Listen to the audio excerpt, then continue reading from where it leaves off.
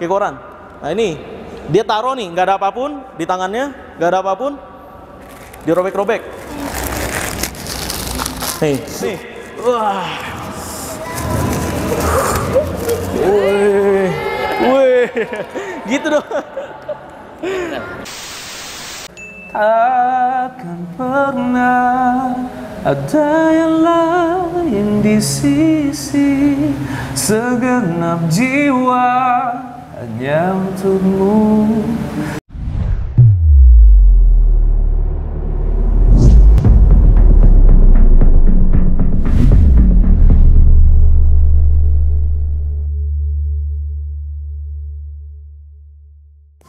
Video kali ini gue akan kembali membongkar rahasia di balik ilmu yang katanya hitam dan ilmu yang katanya putih. Karena ini adalah ilmu merah. Pada ilmu merah kali ini, gue lagi di Sukabumi nih. Gue diundang, katanya di Sukabumi ini banyak dukun-dukun pesugihan dan katanya juga di sini banyak dukun santet atau dukun-dukun yang dikit-dikit klaim santet, dikit-dikit klaim guna-guna. Nah, maka dari itu ini udah dijadwalin dari sebulan lalu. Makanya kalau ada dukun-dukun yang berani ke sini, ya ayo kita lihat aja nanti debat atau pembuktian langsung.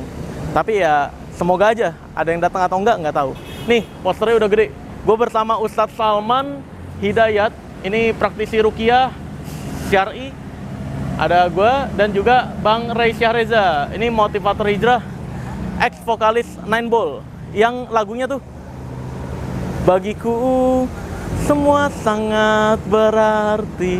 Wih, jadi penyanyi aja kali ya. Tapi hampa terasa di sini tanpamu. Wih, takkan pernah ada yang lain di sisi. Wih, di, huh, jadi penyanyi dah gue nih.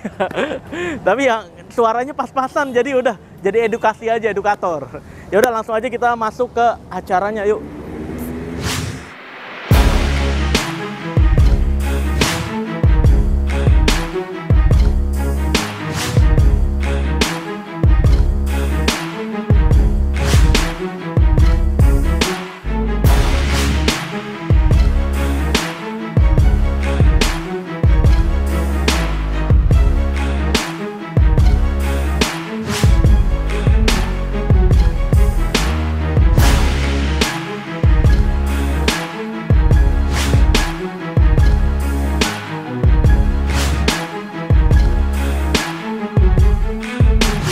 Oke guys, sekarang sudah di Sukabumi bersama Ustadz Salman. Masya Allah. Ustadz Salman ketua apa? Ustadz?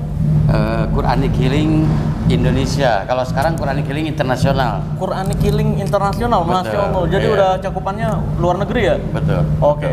Ustadz Salman ini juga praktisi rukiah ya Ustadz ya? Ya, Rukiah Syariah tentunya. Rukiah syariah. Nah, jadi cara membedakan rukiah syariah dan sirkiah. Nah, versi Ustadz Salman gimana? Nah, nah ini Karena di banyak- luar sana kan, bentar. Di luar sana banyak nih di TikTok TikTok ya kan, di medsos-medsos katanya dari jauh yang yang gitu-gitu. Uh, nggak baca doa apa-apaan tuh. Nah, itu gimana, Ustadz? Apakah rukiah juga atau gimana? Ya, betul. Itu sama Rukiah juga. Cuman itu Rukiah Syirkiah. Nah, oh iya rukiah juga, tapi sirkiah ya. Apa itu Rukiah Syirkiah? Jadi mengarah kepada eh, apa namanya? kesyirikan, eh, Oh. ke- kesesatan intinya Yang nggak diajarkan sama Rasulullah. Rasul. Betul Jadi nggak ada dalilnya itu sirkiah ya. Betul. Oke, terus Ustadz, kan Ustadz Salman nih eh, yang punya ide ngundang saya ke sini. Katanya banyak dukun pesugihan.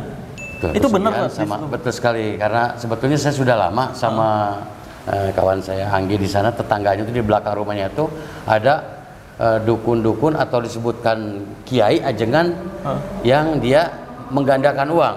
Oh, Eh, itu sampai sampai saat ini masih belum ter ini ya bahkan masih banyak juga ininya pengikut-pengikutnya oh masih aja ada yang percaya. masih karena di ada yang ya ada yang melindungi gitu ya Oh, Nah, ada oknum lah yang Oh, melindungi iya. Kalau dia berani nyenggol saya sih enak saat saya bisa nyamperin kayak gitu. Tapi kalau dia nggak berani nyenggol, kita kena tuh. Betul. Kita kena eh, membuat kegaduhan di lokasi. Betul, betul.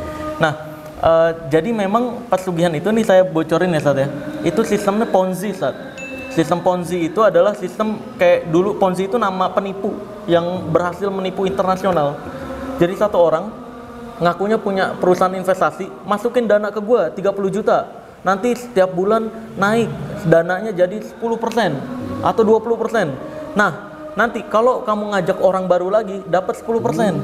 Ngajak orang baru lagi 10%. Nah, jadi dia orang yang investasi di sini kan berusaha dananya makin banyak. Betul, betul. Ya. Ketika nggak ada lagi yang ditipu, dia kabur. Oh, Bawa duit dan nah itu sistem yang dipakai sama dukun-dukun pengganda uang. Jadi selama masih ada yang di bawah nih yang masih ditipu-tipu, itu bakal ada terus. Betul, betul. Jadi mereka eh, ya pura-pura doang itu yang foto-foto pakai uang kan gitu ya Betul, ya? betul, Itu betul. pura-pura doang. Itu duit-duit korban tuh biasanya. Hmm, duit korban. Iya yang dititipin gitu. Bukan dia hasil pengganda uang nggak ada. Apa bedanya dengan investasi? Ada sih sekarang investasi kayak investasi begitu. Iya. Tiba-tiba scam gitu ya. Iya itu Oh, sama ya juga itu ya? ponzi itu Pak. Oh, iya, betul, Jadi betul, sama juga, betul, sistemnya sama.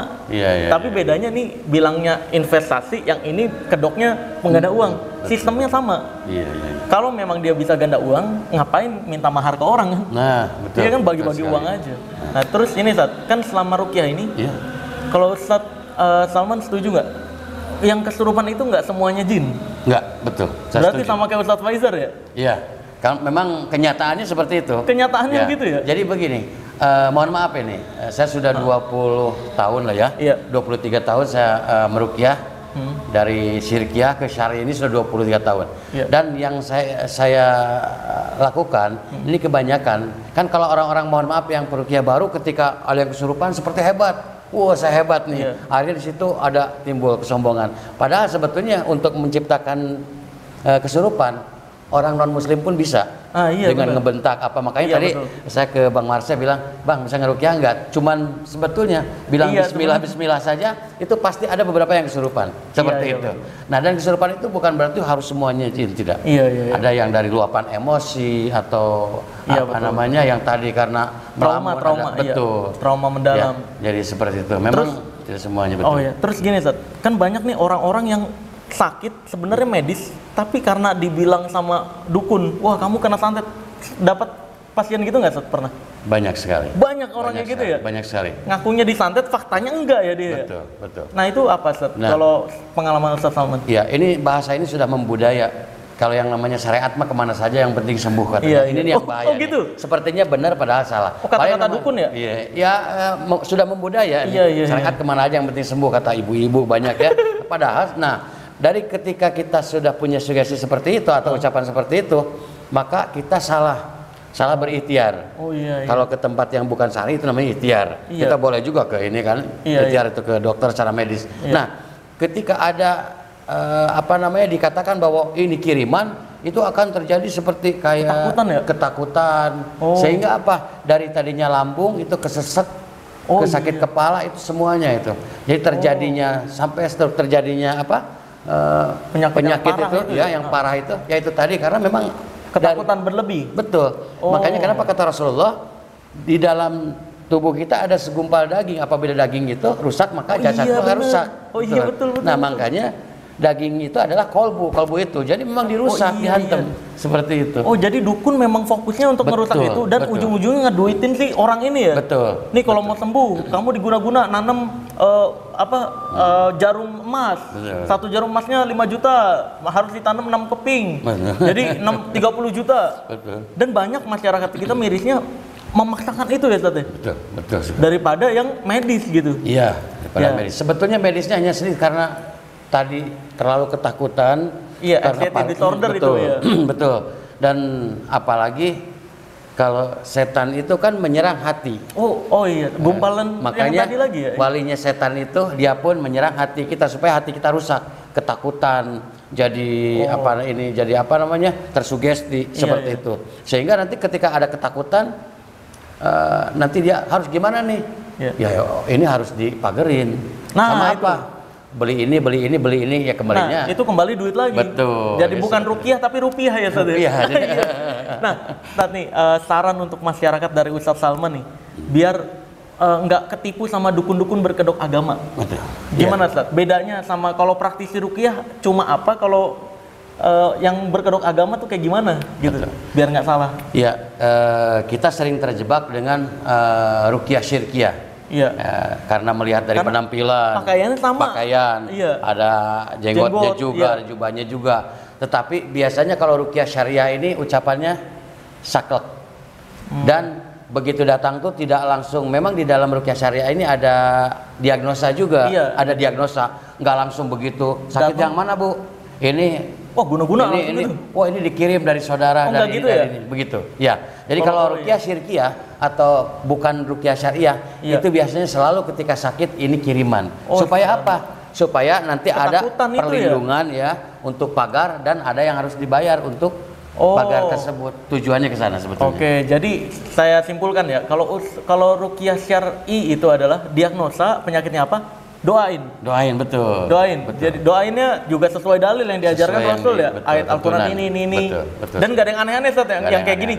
Gitu-gitu nggak ada ya? Nggak ada. Ada ya? Pilek-pilek gitu. Pilek-pilek nggak ada tuh. Itu hati-hati kalau ada orang-orang yang gitu-gitu, itu udah curiga banget tuh ya. Betul. Patut dicurigai.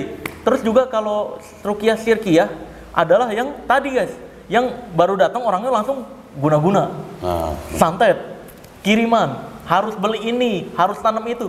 Itu nggak ada dalam syar'i ya, Ustaz? ya? Tidak ada, Nanam-nanam jenglot, nanam-nanam paku emas nggak ada ya? tidak ada. Nah, Ya. itu. Jadi diibaratkan kalau rukyah syariah ini meskipun dia kena santet sekalipun, Hmm. jadi bukan menyalahkan siapa yang ngirimnya atau apanya, tapi gimana caranya diibaratkan kalau ada anjing masuk ke rumah, Ya. jangan disalahkan anjingnya atau yang punyanya kita, kita yang harus gerak, Usir. Oh, usir, iya. lalu bikin keep locking apa Eh, pagar, pagar ya, pagarnya itu harus iya. tetap tertutup gitu, jangan sampai anjing itu masuk lagi seperti itu. Iya. Dan pagarnya itu tauhid ya, Ustaz? Betul. Nah, betul. itu luar biasa. Ini udah cukup jelas nih. Terima kasih banyak Ustaz Sama-sama, Salman. sama-sama. Udah menjelaskan dan edukasi masyarakat juga biar nggak dikit-dikit ketakutan ketika Nah. dicap wah santet, guna-guna Wah. atau diancam santet nih, guys. Ini setuju nggak Ustaz? Kalau misalkan ada dukun yang ngancam kita santet, Ya, saya selalu ngajarin penonton saya untuk jawab aja, ya udah ditunggu ya. silakan itu Iya, harus gituin- harus gituin aja, begitu. Ustaz, ya? Harus begitu. Nanti juga ngeper sendiri dia. Iya. harus ditantang memang. Iya, tantang Oh, aja. Iya. Jadi Tenang jangan aja. takut intinya. Iya, tenang aja. Allah itu menjaga. Betul. Ya, jadi jangan pernah takut. Allah tetap yang mengatur. Mau sakit mau sehat, Allah yang ngatur. Bukan dukun, bukan manusia, bukan jin dan semacamnya. Oke, terima kasih banyak Ustaz Salman. Warahmatullahi wabarakatuh. Waalaikumsalam. Innal hamdalillah. Wih, kayak Ustaz banget. bukan, bukan. Kalau Ustaz Ustaz Salman aja dah. ya. Perkenalkan eh, saya artis. Bukan Ustadz, nanti dikira Ustadz karena banyak banget nih yang eh, bilang wah pesulap merah nih Ustadz eh, Ternyata ya. berkedok gitu. Padahal bukan bukan. Nanti kalau saya dibilang Ustadz, nanti ada aja dukun-dukun nyerangnya ke oh, pakai wig itu haram. Wah. Enggak, pok- pokoknya sebenarnya ini bagian dari entertain, bagian dari branding aja dan saya pakai cuma kalau kerja aja gitu. Kalau sehari-hari mah ya nggak pakai juga. Jangan ditiru, Ti. jangan ditiru ya kayak gini ya. Kecuali kerja di dunia entertain gitu. Nah, eh, saya ke sini kemarin dihubungi sama Ustadz Salman. Banyak yang bilang katanya di Sukabumi ini banyak penggandaan uang ya. Ustadz ya, dukun pengganda uang. Betul. Nah, dukun pengganda uang itu guys, ini saya mau kasih tahu semua keajaiban yang bisa dilihat dan kapan terjadinya, siapa yang mempraktekkan dan eh, bagaimana keajaibannya itu sudah dipastikan itu adalah trik atau kepalsuan. Begitupun penggandaan uang, begitupun eh, keajaiban-keajaiban lainnya seperti kebal dan semacamnya itu semuanya palsu. Itu adalah trik dan permainan sulap aja. Nah, saya akan contohkan penggandaan uang yang paling simpel. Apa sih penggandaan uang yang kata Ustaz Salman?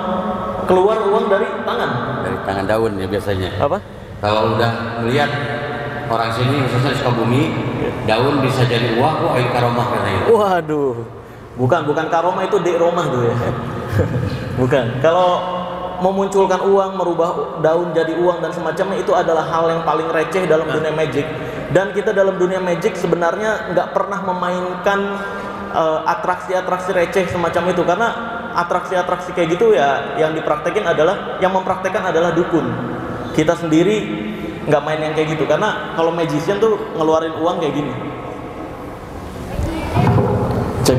Nah, ini nggak bisa nih. Harus ada yang megang jal jal. Lihat. Kalau mau munculin uang sebenarnya simple. Ini kita tinggal gosok-gosok tangan seperti ini.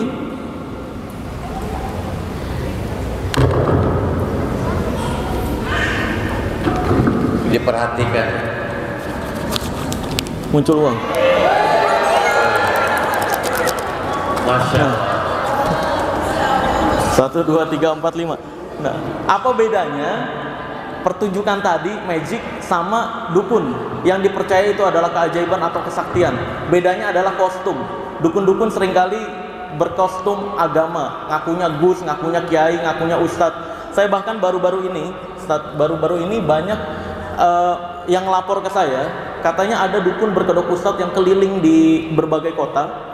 Dia buka ya sulap-sulapan kayak gitu pakai kotak, pakai kotak terus eh, ada orang masuk berubah jadi ular dan semacamnya. Itu kotaknya udah jelas alat sulap ya. Nah ending-endingnya orang-orang yang mau pengobatan itu di eh, katanya ada ruangan VIP nah di ruangan VIP itu katanya di ruangan itu banyak asap-asap banyak api-api dan semacamnya. Dan si dukun berkedok ustadz ini bilang ke korban-korban ini bahwa wah bu ini saya lihat kalau ibu ini emang bener disantet. Ini diguna-guna nih gitu. Ini kalau ibu nggak beneran berobat untung aja datang dua hari lagi meninggal. Dibilangnya gitu. Dan yang laporin kejadian ini adalah anak dari korbannya. Si anaknya ini udah berusaha ngingetin orang tuanya bu itu penipuan. Bu itu tuh udah dibongkar pesulap merah di YouTube. Itu eh, alat-alat murah yang dijual mahal dan semacamnya. Lalu akhirnya si orang tuanya malah bilang anaknya ini nggak ngerti apa-apa. Ini banyak terjadi nih. Nah, banyak terjadi. Orang tuanya udah jelas-jelas ketipu sama dukun berkedok eh, agama. Anaknya udah ngingetin malah dibilang anaknya nggak ngerti apa-apa. Terus akhirnya si dukun bilang bu ini pengobatannya harus tanam jarum emas sebanyak lima titik. Per titiknya 5 juta rupiah. Nah akhirnya si ibunya ini orang tuanya nggak punya uang dia maksain minjem ke koperasi. Udah masyirik udah musrik riba juga. Ini parah nih udah combo nih saudara udah riba musrik dan semacamnya. Nah akhirnya dibayarlah 30 juta kalau nggak salah sama jasa si dukunnya ini untuk tanam-tanam emas. Nah tadinya anaknya cerita pada saat dukunnya ke rumah tadinya mau divideoin tuh terus dikirimin ke saya untuk dibongkar. Tapi nyatanya si dukunnya ini lumayan pinter nih dia ketika datang ke rumah si korban terus ngecek-ngecek terus acting-acting. Kalau dukun itu kan untuk kelihatan sakti ada empat hal yang harus dilakukan ya. Yang pertama harus jago mendesah. Uh gitu. Biasanya kayak gitu tuh. Terus yang kedua harus gerakan slow motion. Uh gitu. Biar kelihatan sakti tuh di Indonesia gampang banget. Cuma bisa mendesah gerakan slow motion sama napasnya bunyi. Yeah. Nah harus gitu tuh. Kalau nggak gitu nggak dianggap sakti di Indonesia. Sama yang terakhir. Yang terakhir yang keempat adalah lompat-lompatan. Itu kayak yang di YouTube YouTube tuh. Ya kan? Ini saya sebut-sebutin aja ya. Karena ini para pembodoh-pembodoh berkedok agama ini dibiarin makin eh, rese mereka nih. Makin ngakunya hiburan. Kayak contohnya channel-channelnya Ujang Bustomi channelnya Idris Nasihin eh, terus channelnya Mamas Karyo dan semacamnya itu pembohong-pembohong berkedok agama yang tujuannya cuma untuk nyari uang doang. Di internet. Tujuannya cuma untuk nyari terkenal doang. Saya ketemu sama mereka dan saya tanya tujuannya apa? Mereka pengen terkenal doang. Itu tujuannya. Tapi banyak masyarakat Indonesia percaya. Karena mereka bisa mempraktekkan empat hal ini. Yaitu tadi mendesah eh, gerakan slow motion napas bunyi sama lompat. Contohnya saya praktekin semuanya ya. di sini saya punya air ini air saya isiin kodam nih. Ini kodamnya kodam belut listrik ya. Uh, mendesah nih. Sama slow motion. Uh, napasnya bunyi. Uh, mental. Uh, weh. Langsung dianggapnya sakti tuh di Indonesia kayak gitu doang tuh. Tayangan-tayangan tinggal bayar orang untuk pura-pura jadi dukun pura-pura ngegrebek lompat-lompatan. Di Indonesia yang kayak gitu duitnya banyak. Jadi mereka-mereka ini eh, memang tujuannya adalah pura-pura narik benda goib.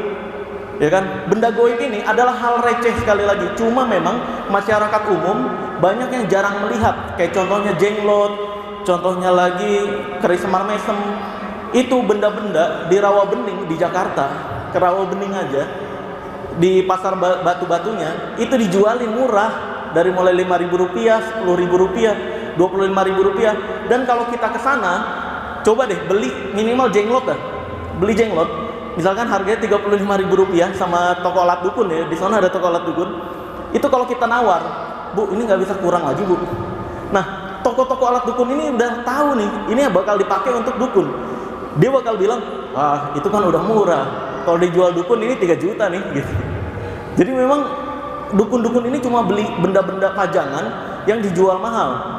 Nah, seperti biasanya di ilmu merah itu kalau menjelaskan nggak pernah cuma ngomong doang. Saya kasih unjuk langsung lihat. Boleh? Bawa udah datang. Semuanya alat dukun. Nah, ini dia nih. Weh, kalau ngambil alat-alat gini kan biar kelihatan sakti ya. Kita praktekin yang empat tadi ya. Empat.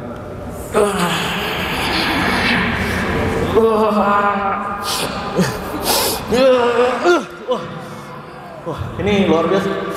Wih. Padahal tadi biasa. Nggak ada apa-apa. Ini yang disebut bulu perindu. Pernah dengar bulu perindu yang pernah coba angkat tangan deh. Ada yang pernah dengar bulu perindu nggak? Pernah ya? Pernah ya? Yang katanya ilmu spiritilil tuh ya. Saya mau ganti oh jadi nggak enak sebenarnya.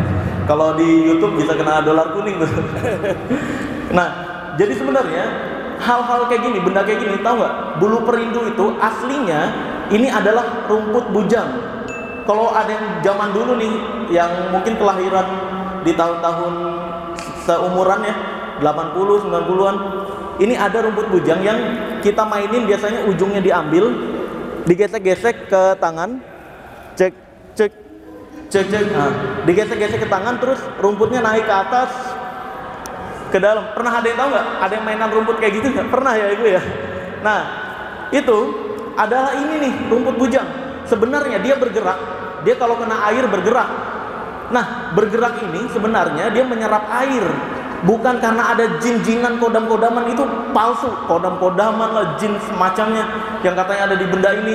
Bahkan parahnya dukun-dukun ini bilang bahwa di dalam cincin saya ada kiai. Waduh luar biasa. Cincin bisa tinggal di kiai, eh kiai bisa tinggal di cincin. Tetangga saya kiai tinggal di kontrakan aja ngeluh gitu. Apalagi tinggal di cincin kecil banget gitu, jempolnya aja nggak masuk. Aneh, katanya ada kiainya nih gitu. Apalagi kayak gini-ginian gitu. Nih, ini kalau kena air dia bergerak sebenarnya. Cek, cek. Oh, ini yang, eh, ini gangguan gue. Bismillah. Oke. Bismillah. Bismillah. Nah, sama aja. Oh enggak. Sama aja. Nih, ini yang katanya Wih, mahal, dicari-cari satu miliar, 2 miliar, kagak ada di toko alat dukun banyak. Kalau yang segede gini 200 ribu. Jadi memang ini karya seni. Ini yang katanya bambu petuk. Pernah ngeliat Ustaz? Pernah. Nah ini bambu petuk nih katanya. Ini beneran bambu guys. Ini beneran bambu. Cuma bedanya bagian sini dilem. Ini dilem. Tapi dibuat sedemikian rupa nggak kelihatan lemnya. Mau dicek jarak deket juga nggak kelihatan. Nah ini biasanya digunakan untuk pajangan doang. Yang kayak gini-gini nggak ada tuh yang katanya bisa narik rezeki lah, bisa buat pesugihan. Kalau pesugihan itu ada, catat baik-baik ya. Kalau pesugihan itu ada, seharusnya sekarang ada orang yang jualan cilok, satu ciloknya harganya satu juta. Terus pembelinya ngantri. Ada nggak? Nggak pernah ada karena pesugihan nggak pernah ada. Itu adalah pembodohan-pembodohan perdukunan. Makanya Allah Azza wa Jal bilang ke kita jangan percaya dukun karena orang yang percaya dukun itu adalah orang yang benar-benar bodoh dibanding dibanding orang bodoh gitu. Benar-benar bodohnya kelewatan banget. Karena apa yang bisa kita harapkan dari seseorang yang bahkan dia nggak bisa mem- memunculkan atau mewujudkan harapannya sendiri. Paham ya? Gimana caranya? Secara nalar sehat kita, kita berharap sama seseorang yang bahkan orang tersebut tidak bisa memunculkan harapannya sendiri. Maka dari itu tempat berharap satu-satunya cuma ke Allah Azza wa Jalla doang. Gak bisa tuh kita berharap pesugihan lah, cinta dan semacamnya ke dukun. Karena dukun ini ya sekali lagi, dukun itu cuma ada dua. Yaitu kalau nggak nipu ya cabul. Catat itu baik-baik. Dukun cuma ada dua. Kalau nggak nipu ya cabul. Saya dilaporin sama 20 organisasi dukun karena saya ngomong kayak gini. Tapi polisi di Indonesia menyebutkan bahwa apa yang saya sampaikan semuanya sesuai fakta dan sesuai kenyataan. Maka dari itu saya tidak bisa dipenjarakan karena fakta dan kenyataan yang disampaikan untuk kepentingan umum itu adalah hal yang baik di Indonesia.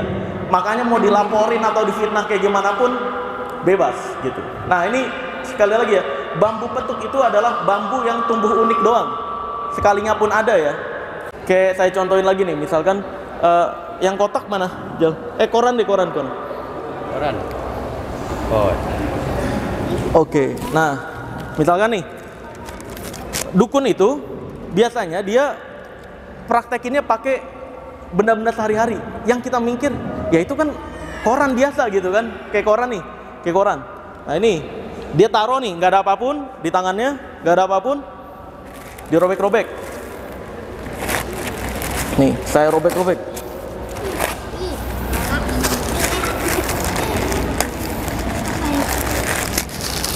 nih terus oh ya harus praktekin yang empat tadi ya biar biar kelihatan sakti ya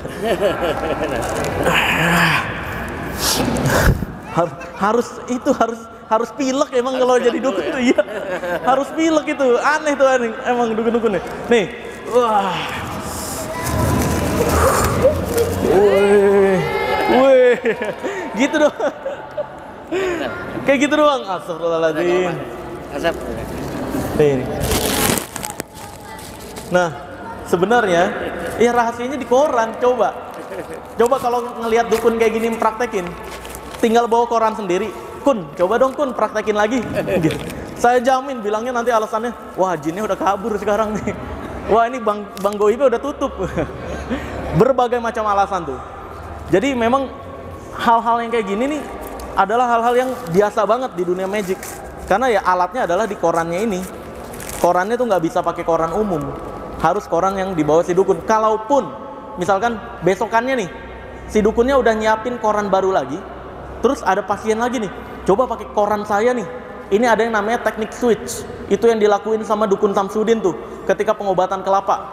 Pengobatan kelapa itu itu kan ya sebelumnya disiapin ya, udah ada isinya tuh, paku dan semacamnya. Kenapa ada pasien yang baru masuk terus bilang ini kelapanya dari saya loh, beneran loh. Itu kelapa yang dari pasien, dia bakal bawa ke belakang dulu, suruh kurungnya, ini tolong diritualin. Alasannya gitu, padahal dituker. Pas balik lagi, nah ini udah. Kalau di video ya tinggal dipotong bagian itunya, bagian tukernya. Nah ini kan kelapa dari kamu ya. Nah, udah tinggal acting-acting tadi, wah dalamnya paku, keluar lah tuh duit puluhan juta. Dan parahnya memang setiap pembayaran tidak ada eh, transfer bukti transfer, makanya korban-korban nggak bisa ngelapor karena pembayaran cash nggak boleh ada rekaman gitu. Kalau di penipuan dukun-dukun, makanya korban-korban nggak ada yang bisa ngelapor itu penipuan gitu. Oke guys, ini tadi kita lagi istirahat kedatangan sesepuhnya Sukabumi, masya Allah. Assalamualaikum. Waalaikumsalam warahmatullahi wabarakatuh. Oh, masya Allah. Salam kenal Pak. Ya, sama-sama. Namanya Bapak. siapa Pak? Daud Hardana. Daud Hardana. Iya. Wih, ini biar teman-teman kenal juga nih ya Pak ya. iya. Boleh. Mudah-mudahan ini adalah Ikhwan Pidin ya. Amin. Ikhwan Amin. Pidin yang mempunyai tujuan Heeh. tujuan kita ya. Iya. Ketu- Tujuan kita tuh ya Bapak berikut saudara-saudara. Iya. Tujuan kita adalah satu yaitu ihsan. Ihsan, masya Allah. Ihsan itu adalah melaksanakan ketentuan Ketentuan Allah ya. Allah. Iya gitu. betul. Mudah-mudahan dengan pertemuan ini kita Menambah saudara juga ya. ciri untuk mempertebal iman. Iman, iya benar. Iman yang bernilai Heeh. hasanah di dunia, Ya. hasanah fil akhirah. Wih, masya Allah. Oh iya, Pak kenal saya dari mana Pak? Saya sering sering monitor di medsos. Oh, sering ngeliat di medsos juga. Sering Wih. lihat. Saya subhanallah Iya. ini kadarullah ya. Saya harus harus mencintai orang yang memproses dinul Islam. Orang yang mau memproses jalan-jalan menuju menuju Kebenaran. Darul Oh, Islam. Darul Islam. Oh iya. Itu saya harus mencintai Amin. walaupun Terima kasih. saya masih banyak dosa. Iya. mudah-mudahan Sama-sama semua juga dengan banyak dosa. dengan mencintai terus Proses dari- Eh, Ikhwan Pidin memproses tentang dinul Islam, Heeh. saya harus mencintai. Hmm. yang negatif, yang fiktif juga saya harus harus tahu Oh, untuk iya. untuk menghindar, Menghindari itu ya. ya. menghindari agar kita selalu dalam jalan Lurus ya, Pak ya. jalan Jalan apa? sar eh hoer hoer hair Khair, oh khair, kebaikan. ya kebaikan Iya, karena iya. kita kan dihadapkan pada kita sebagai manusia Hmm. Ya ini mau dikoreksi ya Iya, iya, iya. ini tawasubil hak Iya, betul. kita dihadapkan pada dua jalan Hmm. jalan yang pertama adalah hair Iya. yang keduanya sar Hmm. hair kepastiannya ridho Allah Hmm. sar kepastiannya laknatullah Hmm. Oke, terima kasih banyak, Pak. Iya. saya doakan Profesor Marcel Wah, dipanggil profesor. Iya, Pro. Kenapa tuh? profes profesional Iya. mudah-mudahan nanti terlaksana jadi profesor Wih, lagi amin. kan doa yang Doa yang baik. Baik. Iya, benar. Mudah-mudahan sehat Amin. panjang umur Amin. keimanannya seperti tadi Amin. semakin bernilai Amin. hasanah pidunya Amin. hasanah akhirah Amin. semua rancangan dan kepastian dari Allah Ya. kita semua yang ada di sini Amin, amin. mudah-mudahan tetap dalam bimbingan, Bimbingan. Allah. Iya, amin. Terima kasih banyak. Sama-sama. Ya, sehat terus, bahagia terus. syukur banget kalau bisa mampir ke rumah Wih, masya Allah. Ya, barangkali kalau untuk makan atau apa Oh iya. cuman kalau membagikan uang mah uang Waduh. belum takut dibagikannya takut uang palsu Waduh. gitu. jadi saya nggak bagikan iya, iya. kan Ya. lagi musim uang palsu Iya, iya benar sekarang. Ya, terima kasih, Pak. Sama-sama, Oke. alhamdulillah Gitu. Nah, di sini juga ada Bang Ray, ex vokalis Nine Ball. Wih, masya Allah. Sini Bang. Berdiri kita? Boleh berdiri, boleh duduk. Oh, Ini kalau. Bang Ray mah jepit sini aja nih. Sini masih aja nih. Nih, nih gitu aja. Nah. Oke, Bang. Ya, Jadi gimana Bang? Lu motivator apa tadi? Motivator, Motivator hijrah. Wih, masya Allah. itu ada ceritanya. Gimana ceritanya? Kan ceritanya tadinya anak band, Ah. ya kan? Oh, duduk aja yuk. Boleh. Tak, biar Duduk aja. santai. tadinya anak band. Ah. Terus Kan anak band kan kalau nggak cewek, clubbing ya kan. Kan itu tuh. Nah, Gimana kan- bisa lepas dari kebahagiaan-kebahagiaan semu? itu ceritanya panjang. Ah. Jadi singkatnya setelah dapat hidayah hijrah itu Hah? suka dipanggil-panggil sama teman-teman komunitas. Oh, Kang, saya kan dari Bandung. iya. Kang, tolong isi motivasi hijrah dong anak-anak. Komunitas mobil, motor gitu kan. Iya, iya. macam-macam. Yaudah, saya datang kasih motivasi hijrah. Kenapa Kang Ray hijrah? Padahal dunia entertaining, Hmm. Iya. glamor gini menyenangkan Glamor, iya. apa semacam. Ya udah saya share gitu kan. Oh. Udah pokoknya ketenangan hati apa segala Hmm. macam, lebih pede menjalani hidup apa segala macam. Yuk lama kelamaan melebar nih. Biasanya yang ngundang tuh anak-anak geng motor, Oh. Iya. komunitas mobil, komunitas pemuda hijrah. Ini lama-lama yang ngundang. Assalamualaikum, Ustadz. Wih, Udah udah, Ustadz dipanggil nah. Ustadz ya. Nah, masya Allah keren. Bisa isi kajian di majelis taklim kami? Wih, Ibu-ibu. ibu-ibu. saya bilang, Bu, saya bukan Ustadz. Oh iya. iya. Tapi ini ibu-ibu maunya sama Ustadz. Oh, susah lawan Wah mama. udah. Iya emang kalah udah raja dunia itu raja dunia. Jadi ini Penguasa. kejadian yang hikmahnya besar buat saya. Iya. Maksudnya dengan dengan Allah mengkondisikan suasana seperti itu, Iya. akhirnya saya kan mesti belajar. Ah. Nah, akhirnya terpaksalah cari guru gitu Oh, kan. jadi dipaksa sama Allah tuh ya Dipaksa sama? Allah. Wah berarti memang benar-benar diarahin. Alhamdulillah gitu. Wih, Masya Allah. Jadi dipaksa kan kita mau ngomong apa? Iya, iya. Kalau di depan majelis ibu-ibu gitu kan, Iya, iya. ceritanya taklim, taklimnya nggak belajar Oh. namanya. Nah. akhirnya saya cari guru gitu. Jadi Oke. makanya di, di di orang bilangnya motivator hijrah. Motivator Gitu. hijrah ya. Terus ini, Bang, eh, saran untuk teman-teman semua kan sekarang banyak banget yang ngebet jadi tiktokers. Tiktokers, Justru ya. ngebetnya pengen masuk entertain. Hmm. Kalau Bang Ray kan malah udah mulai dipaksa sama Allah, jangan ke situ. Cewek mulu tuh. Mabok mulu tuh. Nah, Ah, iya, iya, saran untuk teman-teman biar nggak terlalu dalam nih, Bang. Eh, pengen pamer kekayaan kan rata-rata gitu, pengen ngerasain di foto-foto. Itu gimana biar bisa mengendalikan diri? Mungkin dia Saran belum ngerasain dibully sama haters gitu. Ah, iya. Oh iya. Iya bener lagi semua entertain. itu baru se- secuil Secuil ya. ketidakenakannya entertain ya. Yang bikin kadang kalau nggak kuat-kuat hati pengen Wah, kepikiran yang macem-macem tuh ya. Bisa terjun payung. Iya, bisa terjun Bahaya. payung, ke obat, ke mabuk dan bener-bener hati-hati ada yang namanya haters tuh Iya. kalau di entertain. Bukan seperti yang dilihat di TV doang ya bang ya? Iya. Iya. Nggak. Terus gimana cara biar mengendalikan diri tuh? Biar anak-anak muda ini bisa sarannya biar bisa mengendalikan diri. Ya jadi kalau dalam dalam ajaran agama itu ada bahasa al ilmu qabla amal. Ah, Hmm. Belajar ilmunya dulu baru amal. Oh. Cari tahu dulu entertainer tuh apa. Oh, iya. Entertain tuh apa? Gitu kan. Dalam-dalamnya kayak Gimana gimana ya? Kan banyak orang wah orang entertain dunia entertain nih jurang maksiat. Iya. Padahal bukan jurang, Bukan lembah. lembah. Karena isinya gini ya Bang Rey, ini banyak yang nggak tahu di dunia entertain di luarnya tuh kelihatannya bahagia, Iya. kerjanya ketawa-ketawa doang dibayar mahal, kelihatannya di pas masuk ke dalam, wah dikit-dikit stres. Mau ngapain lagi? Depan, belakang, kiri, kanan, atas, bawah, Iya. maksiat semua. Iya, berbuat gini, dikomentarin, di hate malah wah macem-macem dah. Mohon maaf ini ya sama teman-teman entertain. Tapi bukan, emang bukan, begitu, bukan, bukan saya menuduh oh orang entertain tuh ahli maksiat enggak. Enggak, enggak. Tapi lingkungan Perlu entertain hati yang itu- kuat ya? Betul. Lingkungan entertain itu adalah lingkungan yang eh, mayoritas melalaikan. Iya sih memang benar. Mulai membuat kita pura-pura, ya kan? Iya benar. Iya iya, Kita terbiasa berbohong. Acting, Iya betul. ya kan?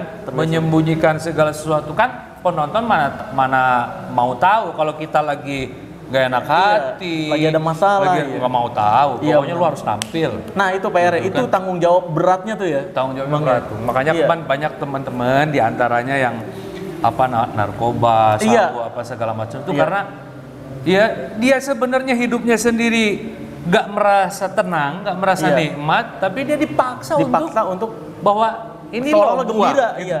Karena itu tuntutan di depan kamera. Iya. Dan Iya, itu ya, apa namanya diyakini narkoba bisa membantu itu. Ah, iya. Untuk mewujudkan itu. untuk Ah, akhirnya kan menetralisir padahal enggak. Padahal makin memperburuk. makin deng deng deng deng deng, deng dalam udah. Maka dari itu kalau saran saya sih itu aja. kuatkan hati berarti ya karena Kalau- ujiannya lebih Ah, berat. kalau keinginan pengen jadi tiktokers, pengen jadi influencer apa, Iya. content creator, itu bagus banget. Bagus. Tapi kuat nggak belajar dulu. Iya, kuat nggak hatinya? Ya jadi gitu, Bang Marcel, Prof ya kalau kata Wih, Bapak. Prof iya kata Bapak nih tadi dipanggilnya Prof ya. Jadi Prof, apa namanya? Amin. Kalau hati itu memang urusannya udah uh, vital karena Rasulullah udah mengingatkan hati-hati di dalam dirimu itu ada bagian paling penting di mana baik bagian itu baik seluruh tubuhmu. Oh iya. Buruk bagian itu buruklah seluruh tubuh, bagian itu adalah hati. Iya iya. iya. Wah. ah iya iya benar benar. Aagim Kiai Haji Abdullah Ginasira bikin lagu Jagalah Hati. Oh iya benar. Bang Opik menyadur lagu Tombo Hati Obat Oh Hati. iya hati lagi ya. Berarti hati nih jangan macam-macam. Jangan hati-hati, iya harus hati-hati. Harus hati-hati. Iya iya. Nah, Tapi pada intinya se- sedikit, pada intinya kalau ya teman-teman tadi ya mau terjun menjadi seorang entertainer, iya. eh, cari tahu dulu entertainer itu apa. Kalau ketika kalian, ah, aku udah siap nih, hatinya Padahal juga udah kosong, siap, padahal kosong ya. ya Nggak tahu apa. udah gas. Tapi kalau nggak tahu cuman kayaknya menarik nih, oh Nah, jangan kalau kayaknya. bahaya ya bahaya itu bahaya. Bahaya. itu apalagi terutama buat wanita sumpah eh, Oh. dunia entertain itu sangat amat berbahaya amat lu bener-bener sangat amat bahaya, Bahaya. kalau untuk cowok bahayanya adalah dari pergaulan ngumpul kalau nggak bisa nyetir hati ngikut sama perkumpulan itu Iya. tuh kalau baik-baik buruk-buruk Mudah terkesan. Ah, mudah terkesan. Kalau wanita, waduh, itu harus bener-bener dijaga, di entertain. Karena ya tahu sendiri ya. Iya.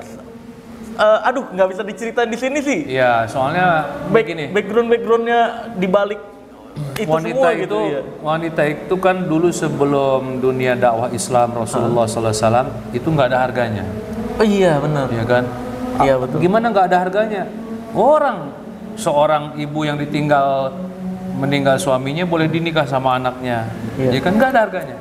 Terus kalau ah macam-macam lah, pokoknya wanita ini nggak ada harganya dulu zaman Iya, jahiliyah. Iya. Begitu Rasulullah datang dengan Islam, dengan iman dan keyakinan, maka wanita ini ditutup rapat-rapat Hmm. Oh, auratnya, iya. dimuliakan tinggi-tinggi. Nah itu Nah dunia entertain itu nggak boleh jauh ditutup. dari itu. Iya nggak boleh ditutup. nggak boleh ditutup. Semakin terbuka semakin, Semakin mahal. Oke iya. nah itu bahayanya Dalam di segala situ. hal, ya. Iya benar. Maka dari itu memang dunia entertain tidak seindah dan tidak semudah yang dipikirkan. Bener ya Bang Ray ya? Jadi- Bang Ray ini sendiri yang udah Ah, ngalamin. intinya gini sih, Hah? yang yang kita cari itu apa sih? Yang Iya. kita minta dalam sholat itu kan ihdinas siratal mustaqim siratal ladzina an'amta alaihim. Iya, iya. Nikmat. Nikmat. Yang Iya. kita minta sama Allah setiap sholat itu kan nikmat, Iya. nikmat, nikmat. Nah, maka pikirkanlah gitu. Kamu mau jadi seorang entertainer, ini supaya kamu merasakan nikmat atau hanya penasaran Ah. atau hanya duga-duga Nah, penasaran itu Coba-coba, bahaya. Coba-coba itu bahaya. Makanya Iya. di, di komplek militer tuh suka ada ragu-ragu lebih baik kembali. Wow, emang iya. Betul kan? Betul Pak? Jangan. Ragu-ragu. Oh iya, Jangan entertain juga coba-coba. gitu. Iya, Jangan jangan coba-coba, coba-coba. jangan. Kecuali udah kuat. Masalahnya apa?